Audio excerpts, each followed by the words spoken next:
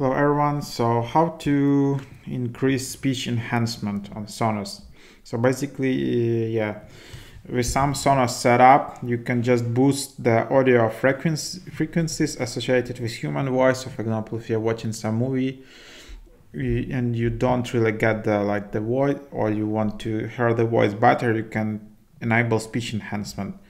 So from Sonos app on iOS, and Android, uh, turn on your TV and make sure TV audio is playing through your Sonos home theater speaker. Open Sonos app. The room tab, select your home theater speaker, tap now playing bar at the bottom to open the now playing screen and tap the, this speech enhancement icon to toggle the speech enhancement on or off.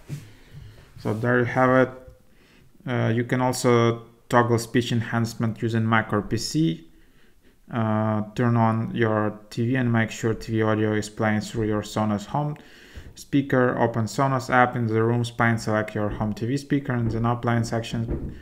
Select this comment icon uh, to toggle speech enhancement on or off.